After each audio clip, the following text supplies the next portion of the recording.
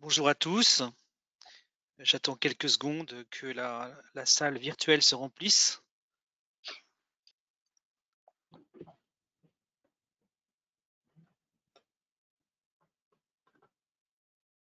Voilà. Donc, je suis Pierre-Xavier de Mariave, je suis euh, directeur des programmes intra sur mesure et inter de Central Supélec euh, Executive Education. Alors, vous êtes connectés euh, malgré euh, cette période de vacances de la Toussaint et, nous vous remercions. Euh, cette conférence en ligne s'inscrit dans la, continuité des, quatre précédentes conférences dont les thématiques portaient sur la définition du manager, du, chef et de son rôle, et également de la prise de décision. Alors pour ceux qui n'ont pas vu ces conférences en ligne, elles sont disponibles en replay sur notre site web.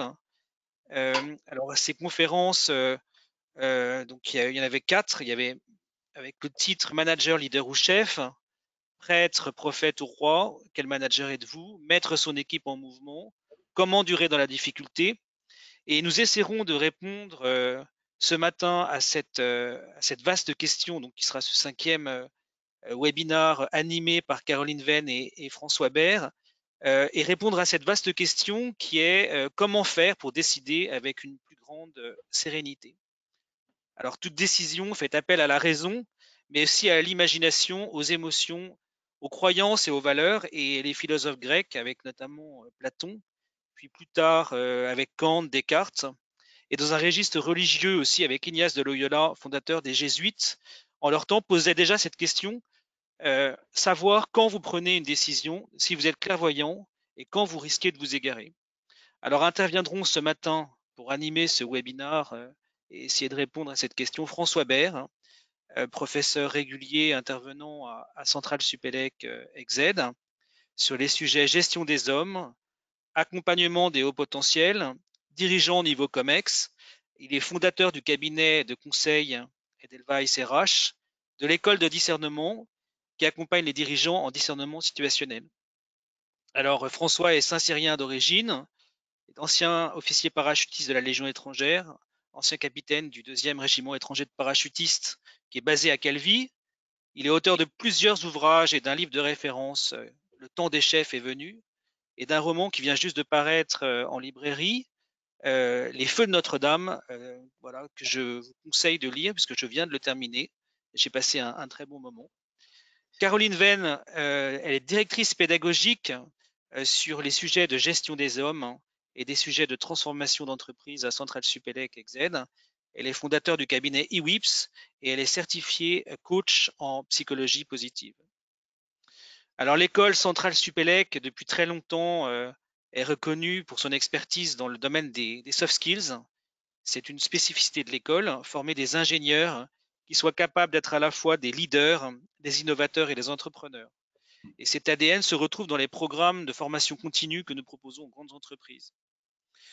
Le leadership et bien entendu euh, la prise de décision euh, sont des sujets que nous insérons très souvent dans les parcours de formation sur mesure. Et euh, cela, représente une, part très importante par rapport à l'ensemble des programmes que nous proposons. Et je vais proposer à, à Caroline, directrice pédagogique, de présenter en quelques mots cette thématique avant de commencer notre webinaire. Merci Pierre-Xavier, bonjour François et bonjour à tous.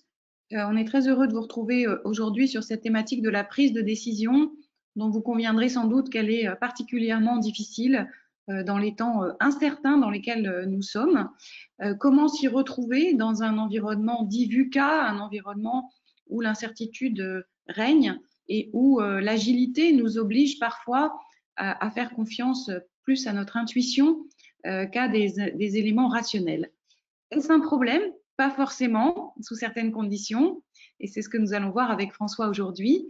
Euh, sujet de la prise de décision est un sujet sur lequel nous sommes très sollicités dans les entreprises. Pourquoi? Parce qu'il est en train de changer radicalement euh, de configuration. Comment, euh, par exemple, prendre une décision au bon niveau, au bon niveau de l'entreprise pour euh, augmenter l'agilité, ce qui suppose de former un, une part plus importante des collaborateurs et des managers à cette question de la prise de décision et bien évidemment comment aider euh, nos dirigeants dans des prises de décision plus stratégiques, alors même que l'environnement, comme je le disais, est, clairement changeant. Voilà, donc je ne veux pas mobiliser davantage de temps et tout de suite entrer dans le vif du sujet en laissant la parole à François. Nous commenterons ensuite vos questions. N'hésitez surtout pas à les inscrire dans le chat et nous prendrons le temps d'y répondre. François, c'est à toi. Merci beaucoup. Je me réjouis, euh, je me réjouis beaucoup de me retrouver parmi, parmi vous pour continuer effectivement la réflexion qu'on a eue euh, sur un sujet qui, comme le disait Caroline, est de plus en plus euh, d'actualité. Je suis assez surpris moi-même du, nombre de personnes qui reviennent à ce sujet à mesure que les contraintes en entreprise et, politique se manifestent et que les lois ne suffisent plus. On va essayer de rentrer dedans. C'est un sujet immense. Là, encore une fois, le temps est limité, mais, euh, on va y aller sûrement. Alors, avant de commencer et de vous camper un peu le décor de ma réflexion, on va commencer par un petit sondage pour tout de suite vous mettre euh, en contribution.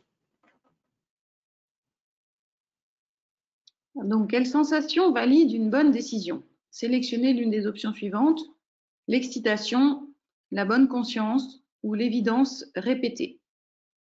Merci de sélectionner la réponse qui vous inspire.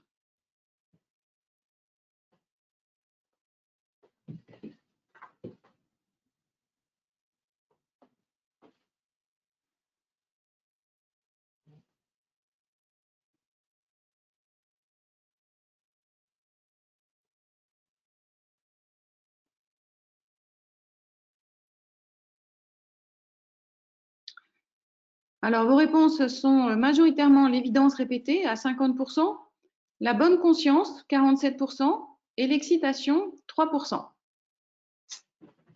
C'est quand même très marqué, c'est très bien. Alors, euh, merci de cette contribution de départ. Ce qui est très intéressant avant d'aller plus loin, c'est de voir qu'effectivement, tout le monde euh, est conscient que l'excitation a quelque chose de trompeur, l'enjeu va être, on va y venir après, de faire attention aux, excitations euh, qui se présentent sous l'apparence euh, de la sagesse.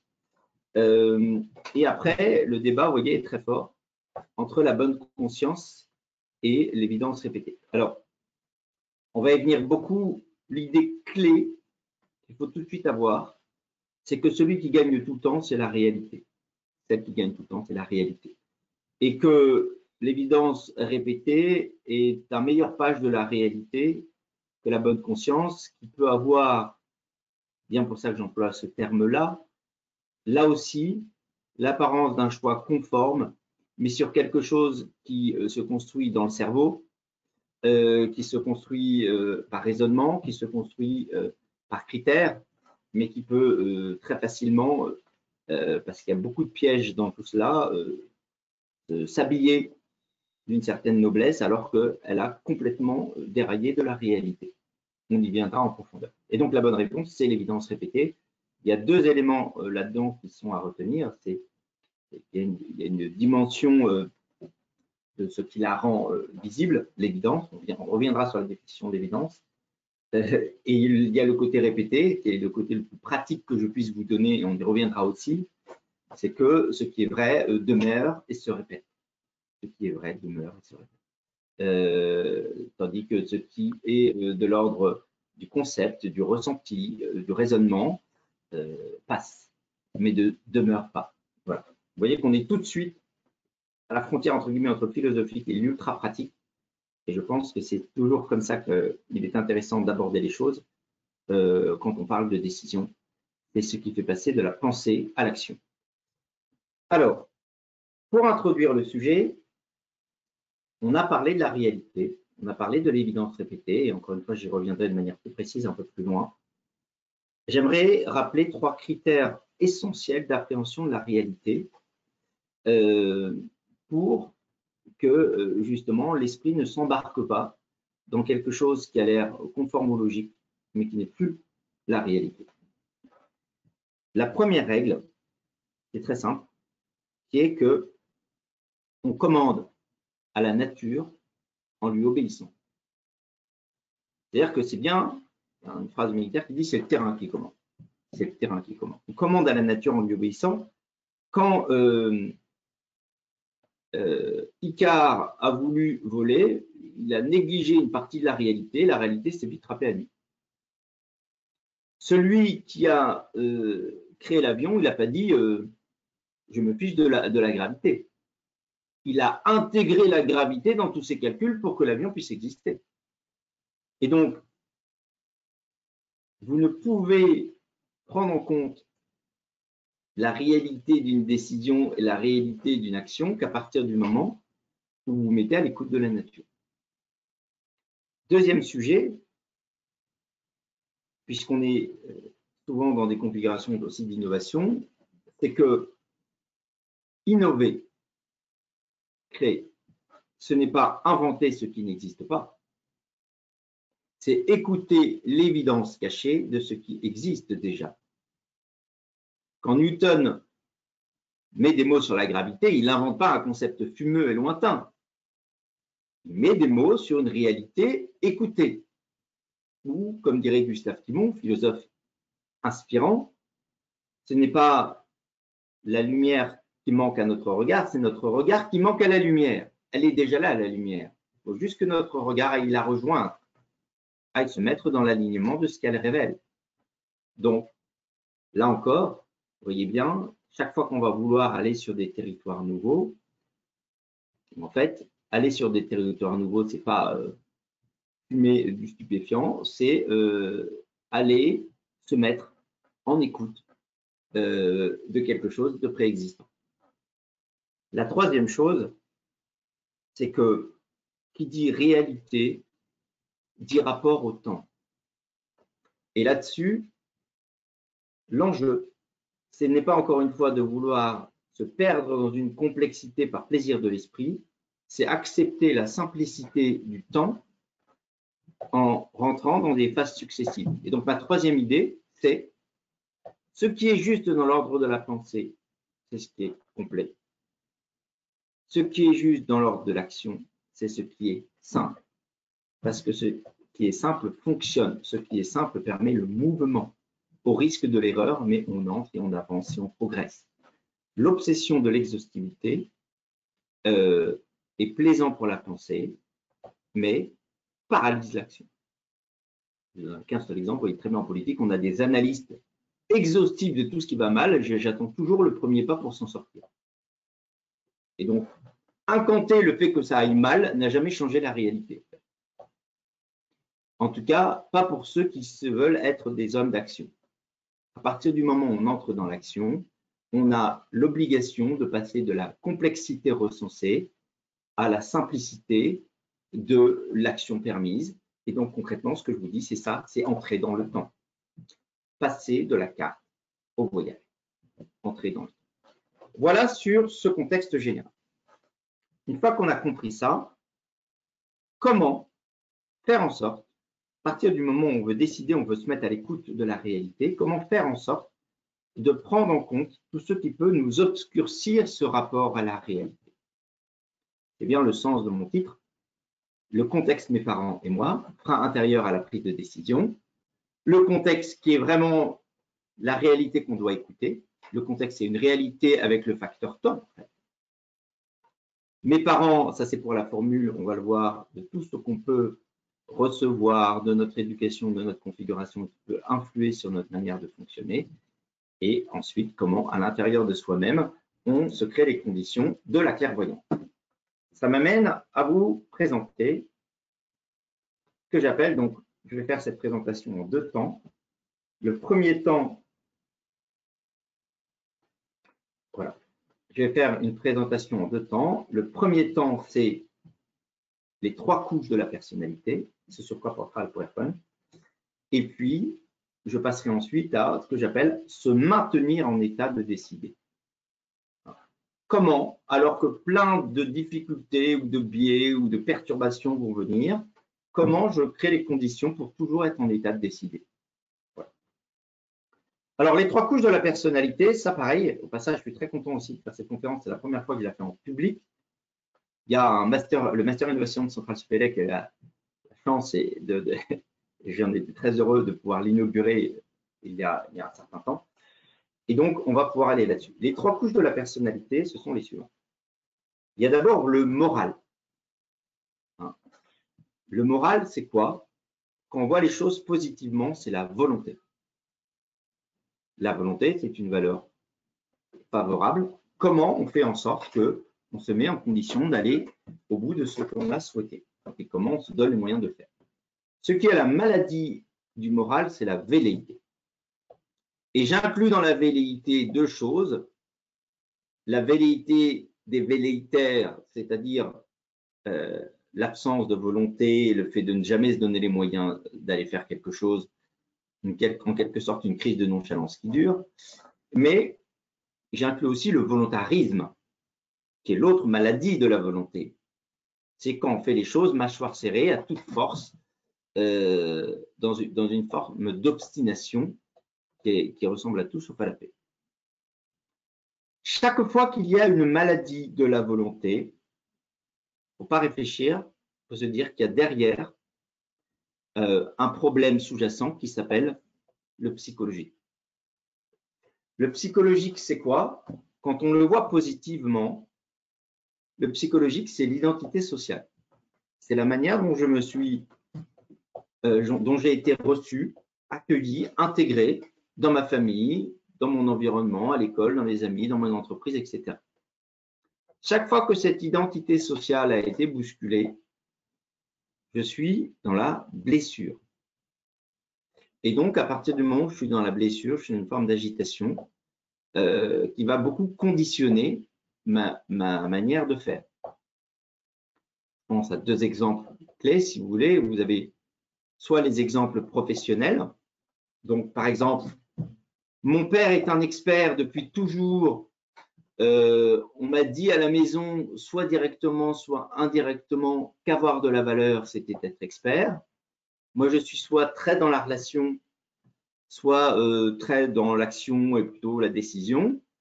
Eh bien, j'ai ce que j'appelle la double peine, c'est-à-dire que euh, ce que je suis n'a pas de valeur en tant que tel, donc je ne me sens pas reconnu.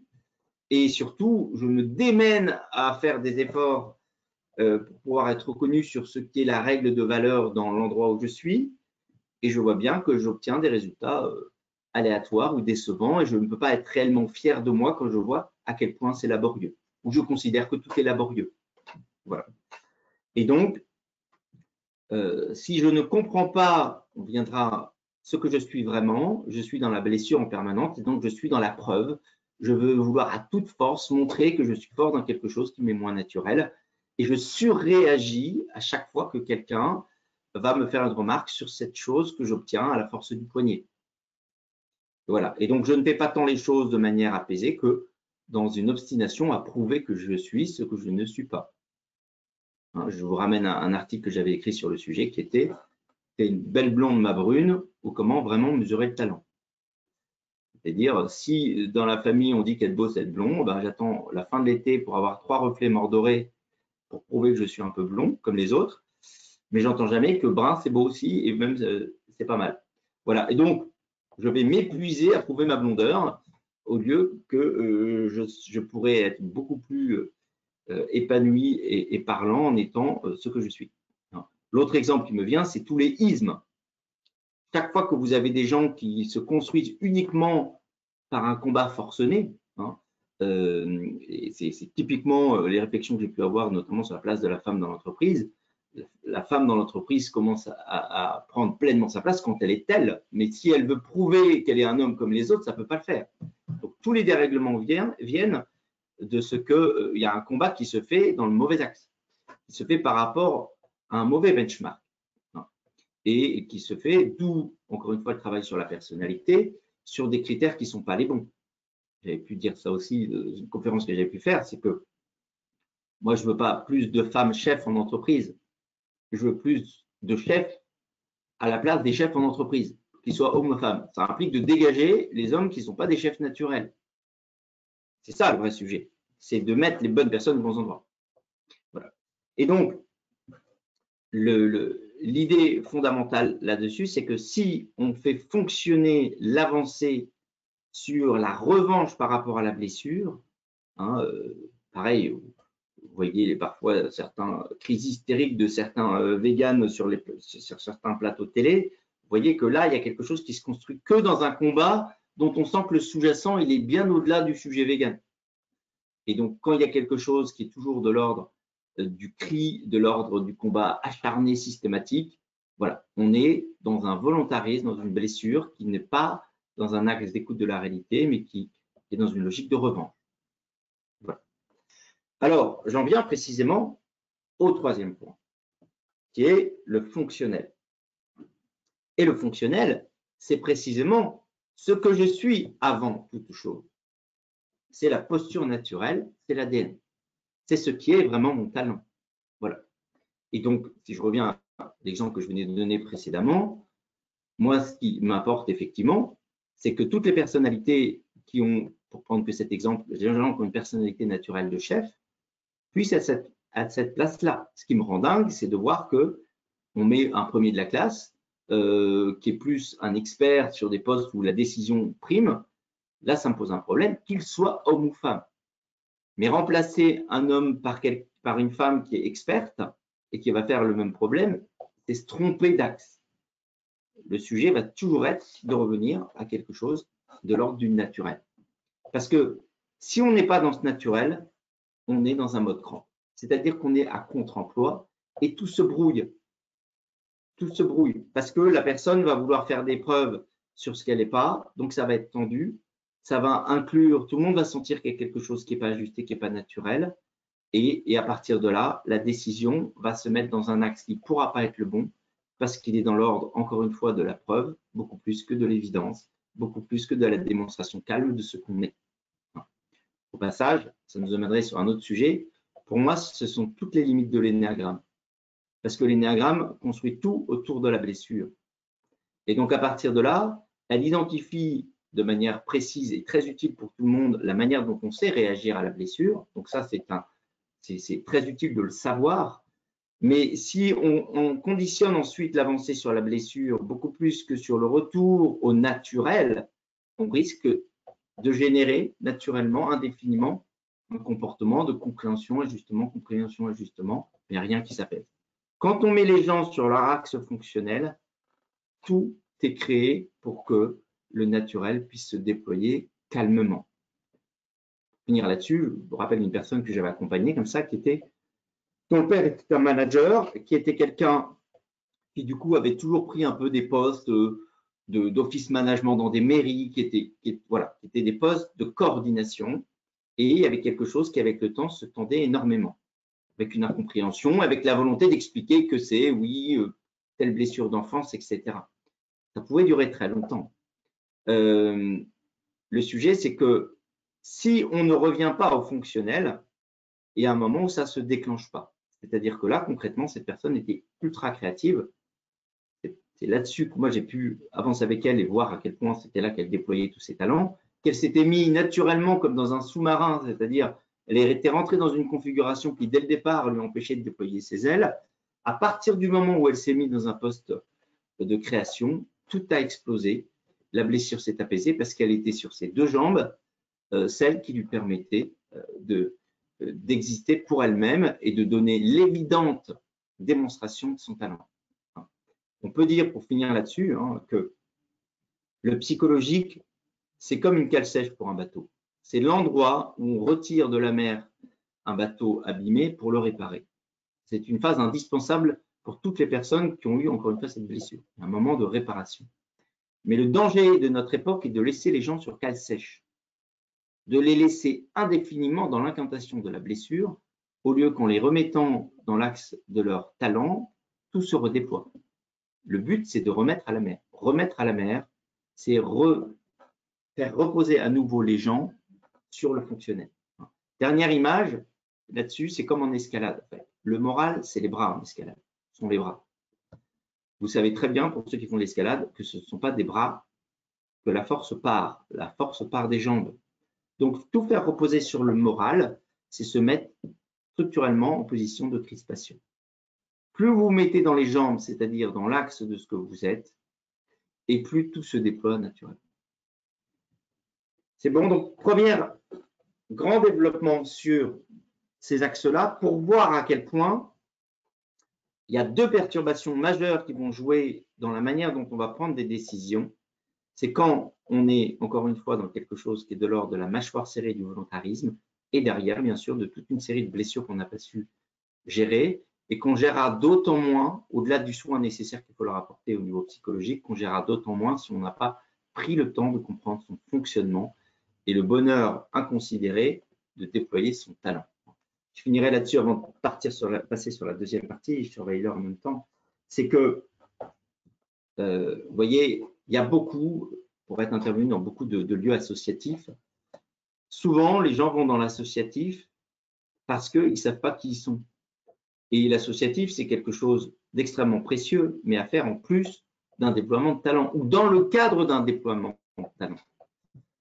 Si vous le faites euh, comme euh, en vous accrochant uniquement à la cause et donc en étant du coup que sur la dimension morale pure, vous êtes dans une sorte de manque d'incarnation, tôt ou tard, posera des problèmes. Tous les gens qui travaillent dans l'associatif savent bien la difficulté qu'il y a parfois à gérer certaines personnes parce que justement, on ne se construit pas d'abord sur son talent, on se construit sur des causes. Et les causes, c'est volatile et les causes, ça finit par vous embarquer dans quelque chose où le discernement n'est pas possible parce que vous êtes dans un espace de survie. Euh, je pense quelqu'un comme ça que j'avais eu la chance de conseiller, c'est quelqu'un qui était aussi très créatif et qui était euh, un vrai talent pour la peinture. Et cette personne voulait en parallèle mener tout un combat euh, sur l'accouchement à la maison. Pas d'avis sur le sujet, mais ce qui est très intéressant, c'est que cette personne, elle, elle, voulait mener ce combat en allant parler à plein de gens de ce sujet qu'il fallait à tout prix convaincre tout le monde. Quand elle rentrait dans ce combat, pour X raisons, elle était dans quelque chose, pareil, d'assez tendu, parce qu'on lui demandait d'aller d'aller convaincre un maximum de gens, alors que c'était plutôt une, plutôt une introvertie. La suggestion que je lui ai faite, c'est de dire comment tu peux rallier ta cause avec ton talent? Et donc, concrètement, cette personne, la suggestion qu'on lui a faite, on était deux à lui faire, c'était de peindre les femmes à l'issue de l'accouchement. En, prenant euh, conscience du fait que souvent, ça fera rire toutes les femmes qui ont accouché, mais souvent, vous avez le mari qui veut à tout prix euh, prendre une photo alors qu'elle sort de l'accouchement, qu'elle n'est pas dans le meilleur état.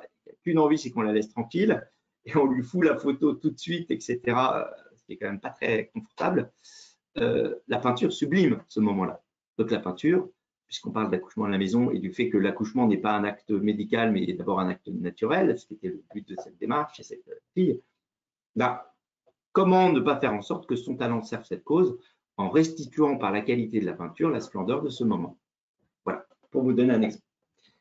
Donc, voilà, on passe maintenant hein, euh, à, la phase numéro 2. Euh, et donc, on peut, voilà, ça, ce sera, euh, je vais laisser en fond d'écran ces trois couches, mais on va passer à la, à la phase 2 qui est se maintenir en état de décider. Donc moi, j'ai déjà dans ce premier point, j'ai voulu structurer chez vous, voilà, le rapport à ce que vous êtes, vos jambes en escalade, lieu de stabilité, tout ce qui est du domaine du cœur et ce qui a pu vous faire souffrir, et puis tout ce qui est du domaine de la volonté, quand tout, quand on part du bon endroit, tout s'aligne et, et, ça pèse.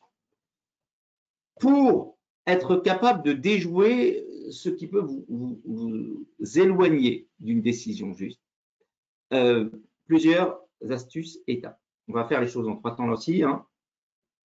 Consolation, désolation, ce que j'appelle ce que j'appelle, c'est pas moi qui les, appelle comme ça, je vais vous dire qui, les trois étapes de la décision.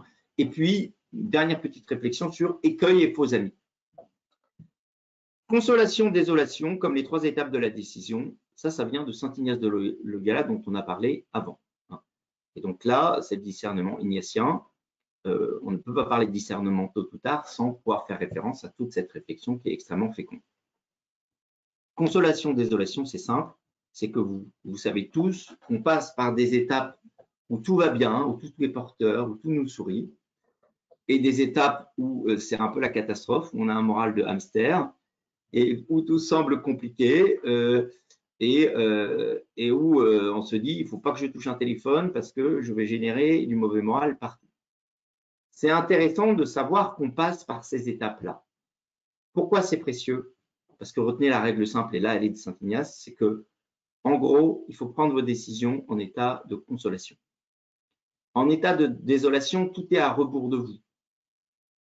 Tout est dans le négatif. Donc, les intuitions ou les, volontés de changement que vous aurez en, désolation risquent d'être à rebours de la réalité parce que votre âme est tordue dans le mauvais sens, si j'osiez.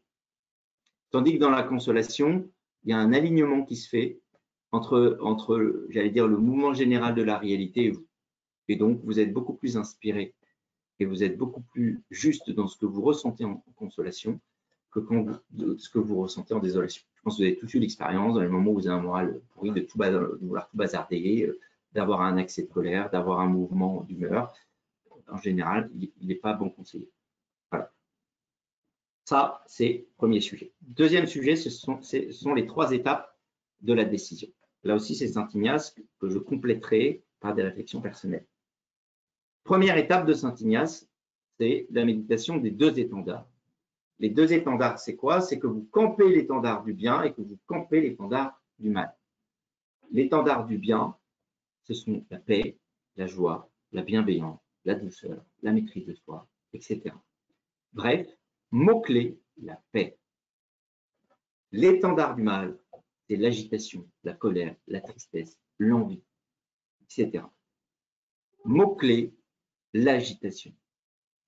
Vous allez prendre votre sujet, votre projet, la matière sur laquelle vous devez décider, et vous allez la soumettre à ces deux étendards. Et vous allez voir de quel côté ça va pencher. Là, j'ai deux exemples de la vie courante qui vont vous parler tout de suite. Si vous voulez choisir un conjoint sur la base de critères, parce qu'on vous dit que c'est quelqu'un de super, et que quand vous regardez toutes ces qualités, vous dites non, mais c'est vrai quand même, quand j'y réfléchis, c'est quelqu'un de bien. Quand vous soumettez ce choix aux deux étendards, vous n'êtes pas côté paix, vous êtes côté agitation. Parce que vous ne le faites pas par une sorte d'évidence intérieure naturelle qui vous vient malgré vous. Vous êtes dans un questionnement, vous êtes dans une obligation à faire, vous êtes dans, un, dans une manière de vous raisonner vous-même qui vous met dans l'agitation. C'est pareil si vous faites des choix, moi c'est le cas d'école, vous faites un choix d'aller dans l'humanitaire ou de faire une belle œuvre. Si ce n'est pas un choix qui s'est imposé à vous intérieurement parce que plusieurs fois les événements sont venus à vous pour vous dire que vous étiez convoqué là-dessus, eh bien, si vous ne faites pas ce temps-là, euh, en fait, si vous le faites pareil en disant non, c'est quand même bien, il faudrait à tout coup que je fasse quelque chose de bien et, que vous le faites à la force du poignet, mâchoire serrée, vous êtes dans l'agitation. Le projet reste beau, mais par rapport à vous, vous êtes dans l'agitation. Donc ça, c'est la première étape. La deuxième étape, ce sont les grilles. Les grilles, c'est que vous allez faire avantage-inconvénient en quelque sorte. Par exemple, si je reprends l'exemple de partir en humanitaire, vous allez dire partir en humanitaire, oui, non. Ne pas partir en humanitaire, non, oui. Il faut faire les deux. Parce que aller vers un projet comme renoncer à un projet déclenche chez vous des choses différentes. C'est intéressant de déclencher ce que ça fait. Donc, vous allez faire les grilles creusées et vous faites la somme des deux. C'est l'étape rationnelle. Troisième étape, c'est l'écoute des événements. Et j'insiste beaucoup là-dessus, c'est-à-dire que je pense qu'il y a eu une mauvaise tendance jésuite pendant longtemps d'être trop dans le raisonnement. On va voir que le raisonnement n'est pas le discernement. L'écoute des événements, c'est quoi? C'est deux choses. Ce que dit Saint Ignace, c'est qu'il faut que les événements aillent dans votre sens. Vous dites, OK, on va faire ça, et puis choisis l'humanitaire. Et puis, comme par hasard, il y a toute une série de choses qui vont aller dans ce sens-là, de facilité, de gens qui viennent vers vous et qui vont, et qui vont euh, aller dans votre sens, vous rendre les choses faciles, etc. Donc déjà, si tout est contrariant au départ, c'est plutôt un signe que rationnellement ça le valait, mais qu'au fait les événements vous disent non. J'ajouterai une chose, c'est que euh, les événements sont intéressants pas simplement dans le fait qu'ils soient favorables ou pas, mais dans ce qu'ils déclenchent en vous. C'est-à-dire qu'en fait, ce qui est intéressant, c'est d'écouter en vous ce que produit comme sensation l'événement contrariant. L'événement contrariant sur une décision que vous faites à la force du poignet, il vous produit un grand soulagement en disant c'est bon, on va arrêter de s'obstiner. L'événement contrariant dans quelque chose qui vous paraît limpide et répété bah, va au contraire vous donner envie de persévérer. Hein, là aussi, je vous donne un exemple de la vie quotidienne. Quand vous avez rendez-vous avec quelqu'un sur lequel vous avez des vues, euh, si la personne annule, euh, vous plante un peu au dernier moment, ce qui est intéressant, c'est que ça produit. Si c'est quelqu'un auquel vous tenez, vis duquel le désir est fort, vous allez vite penser à la manière de réorganiser le rendez-vous. Si c'est quelqu'un que vous vouliez rencontrer plus parce que vous étiez raisonné, sans que ce soit installé à l'intérieur de vous, eh bien, vous dites, ça tombe bien, ça m'arrange. Ça m'arrange que les événements, euh, quelque part, m'amènent à cette décision. En tout cas, me donnent des indications pour cela. Donc, voyez bien, dans les événements contrariants, voir ce que ça produit en vous, un désir de persévérance ou un soulagement intérieur. Ça, ce sont sur les trois étapes de la décision. Les deux étendards, le raisonnement et enfin l'écoute des événements. J'en viens aux écueils et faux amis. Petites astuces là-dessus. Je surveille l'air en même temps. On est pas mal. Dans les écueils et faux amis, je vais à nouveau en voir trois. Il y a, pour faire simple, les fausses évidences. Il y a les fausses paix et il y a les faux signes.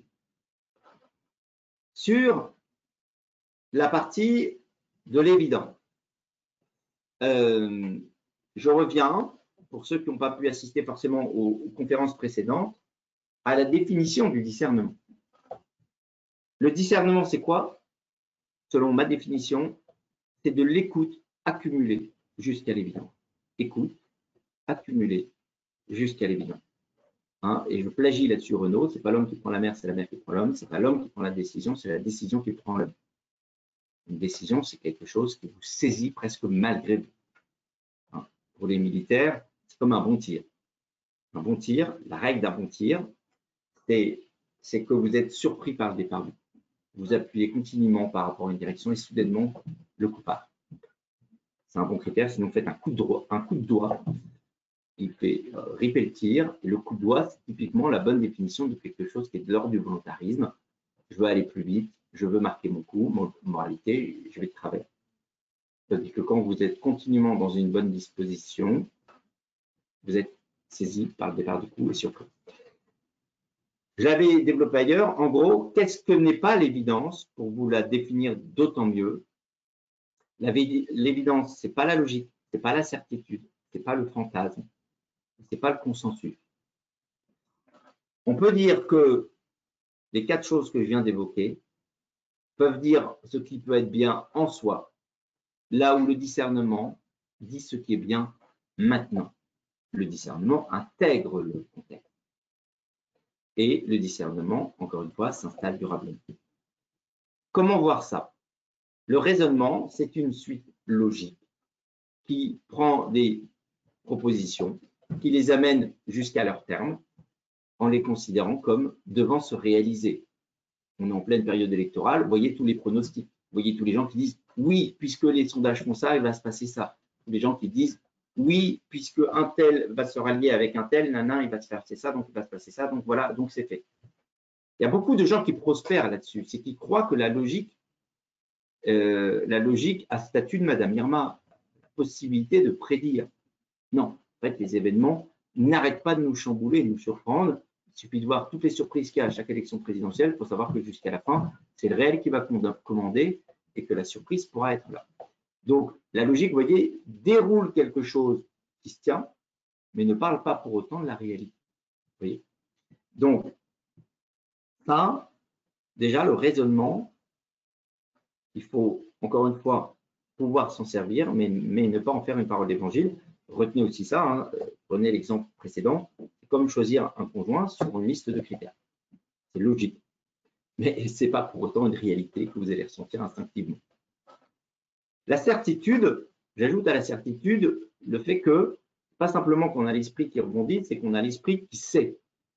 La certitude, c'est les gens qui font un aller-retour permanent avec de la connaissance en croyant que le rapport à la connaissance prévaut sur toute forme de réalité.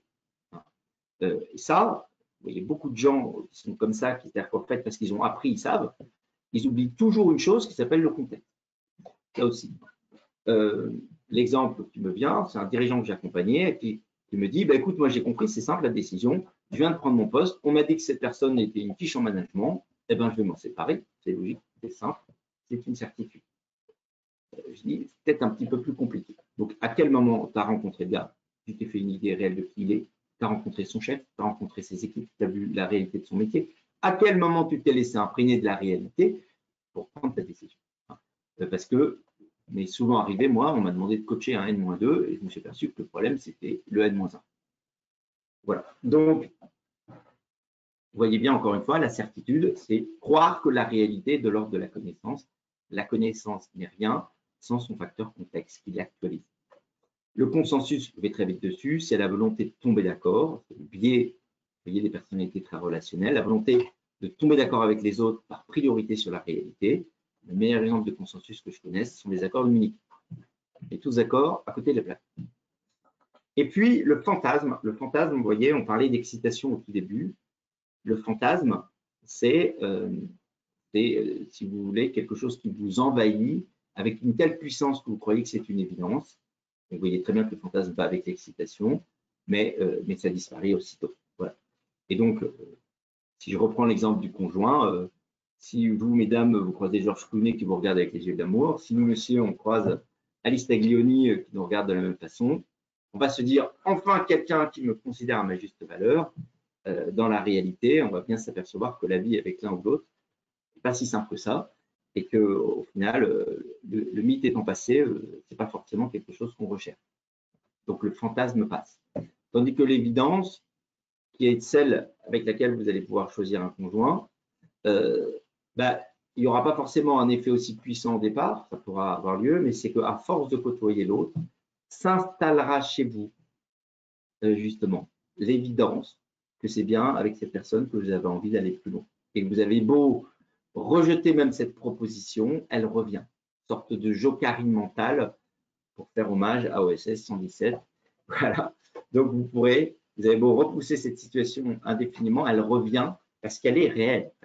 Elle n'est pas de l'ordre de l'esprit, elle n'est pas de l'ordre de l'imagination pure. C'est une réalité qui s'installe en vous. Et c'est bien cette réalité-là qu'il faut écouter. L'évidence, c'est une, réalité qui se manifeste à vous dans votre contexte et qui apparaît, se répète et demeure. C'est pour ça que je parle de marée de l'évidence. Le fantasme passe, l'évidence revient. Dernière chose sur les signes. Alors, avant les signes, pardon vous ai dit trois, euh, trois écueils. Donc, premier écueil, c'est les fausses évidences. Deuxième écueil, ce sont les fausses paix. Là-dessus, j'irai très vite. Ne pas confondre la paix et l'apaisement. L'apaisement, c'est quand vous, vivez une situation qui est très complexe, qu'enfin les choses s'arrêtent, vous vivez une sorte d'apaisement. Si vous avez, si vous faites des nœuds au cerveau sur un sujet qu'enfin vous décidez, la première sensation peut être l'apaisement, parce qu'au moins vous êtes débarrassé de ce problème. Mais le sujet, c'est que l'apaisement, c'est juste, ou c'est pareil quand vous, c'est celui qui se balade avec une enclume dans, le désert et qui pose l'enclume et il sent que ça va beaucoup mieux. Mais le sujet, c'est pourquoi tu as pris une enclume en fait. Mais euh, vous voyez que l'idée, c'est pas simplement de passer d'une situation à une autre et de s'en sentir mieux. Le sujet, c'est qu'il faut là aussi que ça revienne. La paix, revient et demeure. Souvent, on a un apaisement parce que on arrête de se prendre la tête sur un sujet. C'est pas suffisant. C'est là qu'il faut laisser le facteur temps. Il faut voir si une fois euh, qu'on a euh, encore une fois pris cette décision, la paix revient. Donc, ne pas confondre l'apaisement face au fait de se dénouer, une situation pesante, au fait qu'il y a un sentiment qui s'installe, qui revient, qui demeure, quels que soient les états. En général, si vous prenez une décision vite sur des mauvais critères, vous allez avoir un apaisement, mais le souci va revenir. Et vous allez être réagité parce que, parce que cette décision ne vous laisse pas en paix. L'expression est belle en français, ne vous laisse pas en paix. Dernière chose, les signes. Ça, peut y avoir une manie, euh, qui qu'on soit, avoir des signes partout. Et l'idée, là aussi, des idées très simples. Un bon signe, en général, c'est plus un signe qui vient après qu'un signe qui vient avant. En général, tout, tout signe qui préempte votre volonté, votre décision, c'est mauvais. L'art de beaucoup de manipulateurs, c'est de créer des conditions d'excitation telles que vous n'avez pas d'autre choix que créer les conditions pour que tout est tellement merveilleux par rapport aux éléments que si vous n'acceptez pas cette magie, c'est que vous êtes vraiment, vraiment quelqu'un qui n'avait rien compris ou qui est un sans cœur ou je ne sais quoi. Donc, chaque fois qu'il y a une démultiplication de signes qui vous font croire que vous n'avez pas d'autre choix que, c'est des mauvais signes. Un signe, c'est quelque chose, c'est une convocation. Ce n'est pas une réponse. Un signe, ça peut, voilà, ça peut vous donner des éléments de clairvoyance qui vous confortent, mais à aucun moment, ça préempte votre liberté, votre capacité de décider. Là où c'est intéressant aussi, c'est que vous pour moi, très souvent, les signes viennent plutôt, viennent plutôt après la décision, comme pour la conforter. On revient sur les événements dont on parlait. Quand ils viennent avant, il faut pouvoir vous dire à tout moment que vous restez libre. Si c'est à cause du signe que vous prenez votre décision, ça ne peut pas être bon. Dernière chose sur les signes, et après on, arrivera sur notre conclusion, c'est que un signe vous donne, là je vous dis que c'est une convocation, pas une réponse, un signe vous donne un message qui n'est pas forcément euh, celui que vous imaginiez au départ. C'est-à-dire que euh, il vous donne l'occasion de voir des choses sur lesquelles votre libre arbitre reste permanent. Je vous donne euh, un exemple là-dessus. Récemment, je cherchais euh, des locaux. Euh, j'ai voulu, rentrant de la gare, passer voir un peu l'extérieur, comment c'était fait, etc. J'arrive, je vois que les locaux sont allumés, je vois que la personne qui loue le locaux est là. Je peux dire, ah, incroyable, j'y vais un peu à l'improviste, il est tard, il y a les personnes qui sont là pour m'accueillir, etc. Et donc, donc ça veut dire que c'est que un bel endroit. Le fait est que ce qui était intéressant à voir, c'est quand je suis arrivé sur place, la personne était injoignable, la personne que j'ai rencontrée qui était sur place était extrêmement désagréable, euh, que euh, au moment où j'ai voulu visiter, ça n'a pas été possible. Bref, l'information qui m'a été donnée dans ce signe, c'était pas que justement c'était favorable, c'était plutôt défavorable. Vous voyez? Euh, Ou deuxième exemple, puis j'avais à cette conclusion, je me rappelle de d'avoir eu une fois un truc assez incroyable, c'est que euh, à un moment où je cherchais du travail, euh, quelqu'un m'avait dit pour rigoler, tiens, c'est marrant, je te verrais bien euh, à la tête d'un village. Et le lendemain, on, m'appelait pour me proposer le poste de directeur général du Puy du Fou. Voilà. Et donc, et donc, je trouvais ça quand même assez drôle. Je suis allé sur place. Et qu'est-ce qui s'est passé sur place? Il s'est passé que le RH que j'ai rencontré sur place il m'a dit euh, J'adore ce que vous faites, surtout continuez. Voilà. Donc, j'ai fait le trajet par le Puy du Fou euh, pour revenir à mon métier. Voilà. Euh, donc, un signe ne vous donne une partie des réponses. Et si vous prédéterminez le signe dans quelque chose que vous voulez à tout prix avoir, ça ne peut pas être le bon.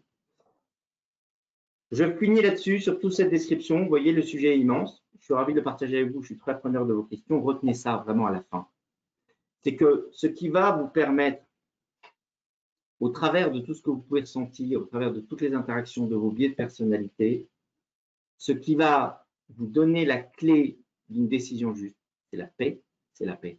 Répétez, et c'est la paix qui s'installe. C'est le critère ultime, final, euh, des décisions majeures que vous devrez prendre. On parle encore une fois de décisions de fond long terme. J'ai pu parler dans d'autres circonstances je vous ramène à la circonstance précédente, à la, conférence précédente, pardon, de tout ce qui est de l'ordre de la décision courante et qu'on doit prendre vite et qui n'a pas tous ces éléments. Voilà. En conclusion, je citerai cette phrase de Leslie euh, Walton qui est au-dessus des nuages, le ciel est toujours bleu. C'est tout con, c'est tout basique, mais ne jamais euh, oublier que quels que soient vos états d'âme, quelles que soient vos agitations, la réalité demeure. Votre sujet est précisément de réussir à maintenir la réalité telle qu'elle est sans céder aux nuages qui viennent traverser euh, votre discernement. Voilà, j'en ai terminé, je suis ouvert à vos questions. Merci beaucoup François. Euh, c'était très intéressant de, voir euh, à quel point des outils rationnels sont bien sûr à l'œuvre dans ces moments de prise de décision, mais tu as mis beaucoup l'accent dessus finalement c'est l'émotion, c'est la personnalité, c'est la capacité qu'on aura chacun d'entre nous à se questionner sur qui on est, comment on est au moment de la prise de décision, qui va interférer grandement dans la qualité de celle-là. Et je pense qu'on a, besoin de, revenir à, ça et ça nous donne aussi confiance. C'est-à-dire que finalement, on est tous en capacité d'eux, à condition d'être euh, au bon endroit, dans le bon état d'esprit et de, du coup de, de, se créer autour de nous euh, les différentes conditions qui font que on va être en capacité de bien décider.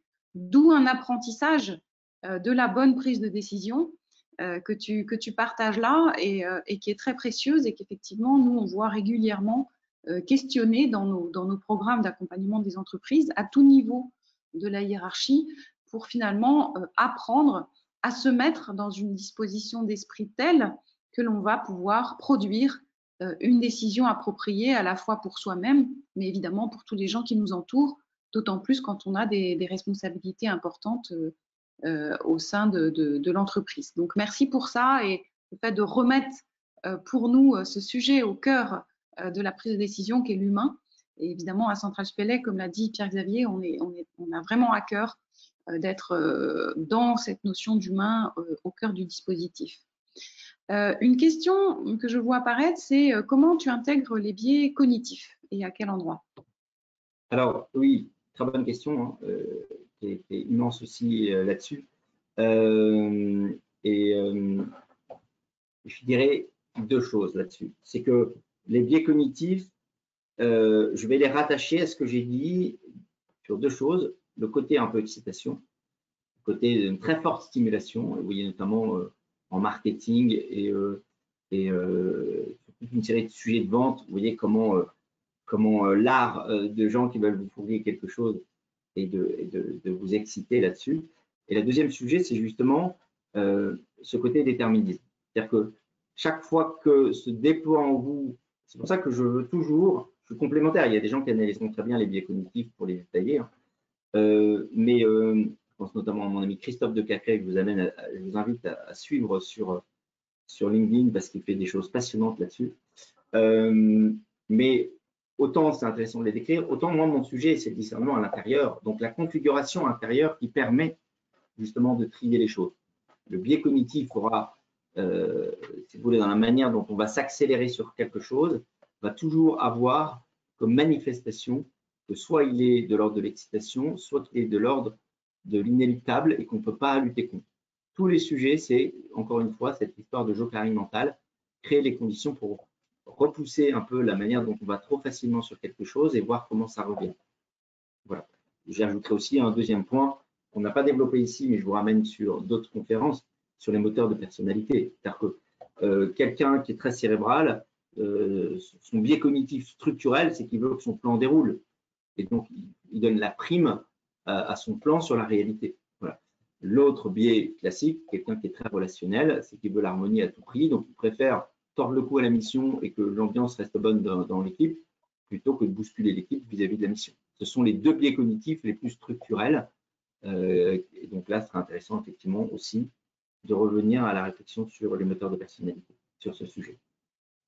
Je pense qu'il y a un sujet aussi euh, qui méritera d'être développé peut-être une prochaine fois, c'est la notion de prise de décision collective ou individuelle. C'est-à-dire que souvent, euh, on est dans, les entreprises qui nous, qui nous contactent, euh, la, question se pose, est-ce que l'intelligence collective veut dire prise de décision collective? Et euh, il y a souvent cette confusion qui est faite. Et intelligence collective ne veut pas dire prise de décision collective. Et, et, la prise de décision, elle est à un moment donné individuelle, au sens où quelqu'un la porte, quelqu'un l'assume. Tu as eu l'occasion de le dire plusieurs fois dans tes, euh, dans tes euh, webinaires et, ça me paraît important de le rappeler, ce qui ne veut évidemment pas dire, et tu l'as tout à fait détaillé ici, que la prise de décision individuelle se fait euh, de façon autistique et que bien évidemment il s'agit par le discernement et par la collaboration d'aller conforter le discernement qu'on peut avoir d'un sujet et comme tu viens de le dire, en fonction de sa personnalité, de pouvoir la confronter à des personnalités différentes qui vont nous aider euh, dans cette prise de décision. Mais je pense que là aussi, il peut y avoir une confusion qu'on euh, voit souvent et qui euh, enrichit, à mon sens, un, un, trouble autour de ce sujet qui est comment décider avec les autres ou en tout cas à l'écoute des autres, mais par soi-même. Donc, je pense que tu, si tu veux dire un petit mot là-dessus. Oui, tout à fait. Et puis, et puis d'autres questions. Tout à fait. C'est-à-dire qu'en fait, bon, il y a cette phrase de Foch, hein, vous connaissez, qui est assez exceptionnelle, qui dit une décision se prend toujours en assemblée impair, et trois, c'est déjà beaucoup. et, donc, et donc, donc, voilà, une manière jolie de dire que c'est toujours seul. Euh, là où c'est intéressant pour euh, ramener à ce qu'on disait, encore une fois, vous voyez, tout l'enjeu de cette heure, c'était de vous, de vous, mettre en condition de restituer la réalité par primauté sur euh, tout ce qui peut être, encore une fois, de l'ordre du plaquage de plan ou du ressenti pur. et donc, vous voyez bien qu'une décision, c'est pour ça qu'il faut un chef c'est qu'il y a un moment donné où il faut qu'il y ait quelqu'un qui soit capable de constituer à l'intérieur de lui, se creuser de toute une série de paramètres, de paramètres qui en plus s'intègrent dans le temps parce qu'une décision va, enchaîner une autre décision, etc. Et donc, si vous voulez faire une décision collective, c'est riper déjà sur le consensus bien souvent, mais c'est empêcher qu'il y ait à un moment donné quelqu'un qui, qui est en lui les tenants et les aboutissants et qu'ils puissent décider sur un certain nombre de choses qui échapperont à la masse, euh, qui échapperont à l'ensemble des, acteurs. Je donne aussi souvent cet exemple de la poignée de l'éventail, c'est-à-dire que le chef, il à la poignée de l'éventail, les gens qui le conseillent, ils sont sur l'éventail, mais le chef, c'est le seul qui a la vision du, global et qui prendra une décision sur tout un spectre, là où les gens qui vont le conseiller n'auront pas forcément la vision du spectre. Après, bien évidemment, il faut qu'il les écoute, et c'est pas autistique, mais c'est la différence entre la synthèse et le discernement. C'est-à-dire que la synthèse, c'est de vouloir concentrer tout ce qui a été dit dans une décision qui fait une sorte de point moyen. Le discernement, c'est écouter, se laisser bousculer, se laisser chambouler et voir comment résiste cette écoute intérieure euh, face à ces, contradictions et voir si ça doit évoluer ou pas. Ce n'est pas une question de point moyen, c'est une question de, prendre un maximum de capteurs de la réalité pour voir comment euh, cette décision intérieure se positionne. Voilà. Euh, une question sur le temps. Dans la prise de décision, comment peut-on tenir compte du temps qui parfois peut manquer? Voilà, hein, donc pour répondre à la question intermédiaire, oui, bien sûr, les personnalités managériales sont plus naturellement disposées au discernement, d'où l'intérêt pour moi de faire travailler des modules pour les autres. Et donc, dans le rapport au temps, oui, bien évidemment, c'est pour ça que, donc là, je, ramène la personne qui pose la question à la conférence précédente qui s'appelle justement Durer dans la difficulté. Hein, elle, est en, podcast, donc, euh, enfin, elle est en, en replay euh, vidéo, donc elle, peut y avoir accès. Je fais une distinction clé qui est euh, le discernement stratégique et le discernement courant. Dans, et la décision courante. Comment on les sépare Précisément par cette question qui répond à la vôtre, c'est est-ce qu'une non-décision de ma part a des conséquences immédiates? Sinon, alors, il faut mettre la décision en chambre de faisanderie. C'est-à-dire qu'il faut laisser faisander la viande et mettre les conditions que je viens d'évoquer comment on se met en position d'écouter cette évidence qui nous saisit. Si ce n'est pas le cas, et ça c'est le cas de la décision courante qui concerne notre question, il faut rentrer dans une décision avec toute une série de paramètres, ça ne mènerait trop loin, mais retenez que on rentre là dans une logique de trajectoire. C'est-à-dire qu'on n'aura pas forcément le temps, on ne prend jamais la décision parfaite, une décision parfaite n'existe pas. Donc on prend ce qui nous paraît le, plus jouable à l'instant T, mais on s'apaise du fait que cette décision ne soit pas parfaite parce qu'elle est un point dans une trajectoire, et non seulement un point de trajectoire, mais un élément de rebond. Voilà. Donc là-dessus, je développe beaucoup ça dans la conférence précédente. Comment? Bah, on prend les décisions rapidement, mais on passe son temps à rebondir. Merci beaucoup. Je pense qu'on a épuisé l'heure et euh, pas ton énergie apparemment. Donc euh, merci beaucoup François. Euh, Pierre-Xavier, je te rends la parole. Merci François, euh, merci Caroline. Donc ce cinquième webinar était le dernier donc avec euh, François Bert sur l'année 2021 et euh, nous réfléchissons ensemble pour vous proposer d'autres sujets passionnants pour l'année 2022. Voilà, il me reste à vous souhaiter une très bonne journée et à très bientôt. Au revoir à tous. Au revoir. Au revoir.